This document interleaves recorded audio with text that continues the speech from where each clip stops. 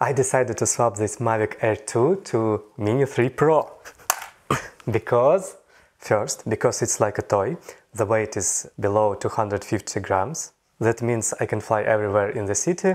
This beast is quite heavy, its weight is over 500 grams. And here in Europe there are a lot of restrictions to fly heavier drones.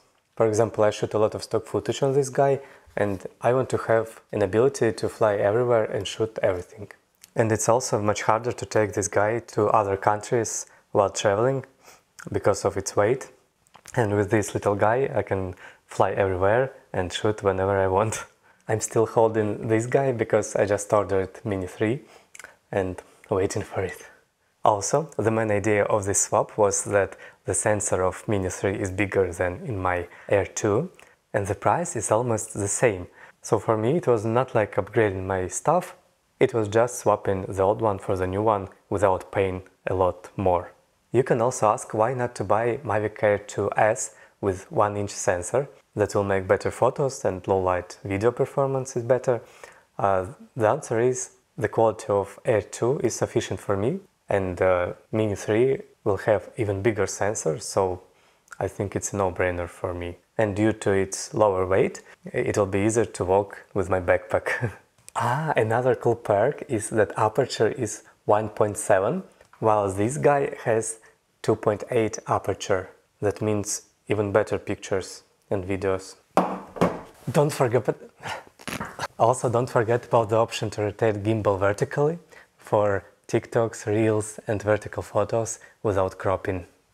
Uh, I think we have to talk about the downsides of Mini 3 Pro. For example, these ND filters come as a default when you buy Mavic Air 2 combo and you don't get this option with Mini 3 Pro.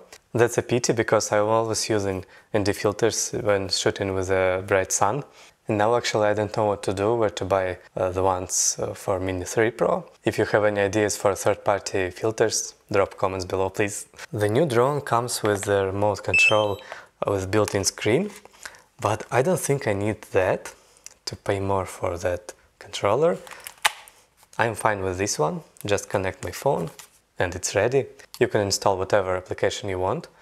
Uh, I heard there are third-party applications, but I'm using only the DJI Fly app. But if you want to customize your flight experience in future, you won't be able to do it in the new controller with built-in screen.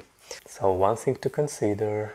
Also, I think it's a cool idea to fly your drone, shoot some footage, and sell it on stock footage websites to, so to say, get your money back for the drone. I'm always trying to take this guy to shoot something for stocks, as you can see here. And actually you can do it too, it's quite easy.